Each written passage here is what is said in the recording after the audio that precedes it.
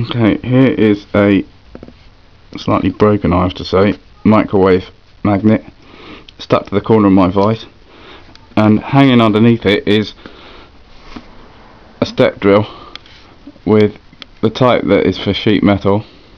As you can see, I'll turn it with my hand there. Um, it's got a tapered cutout all the way down one side, which is obviously key here. Now, if I give this a spin,